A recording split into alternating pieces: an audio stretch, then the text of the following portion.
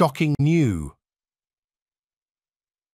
Blackpink's Rose, to soon leave YG Entertainment sign, with Beyonce's record label South Korean Girl, band Blackpink's contract renewal procedure with its agency YG Entertainment is currently the most extensive discussion among the group's fans and the K-pop industry.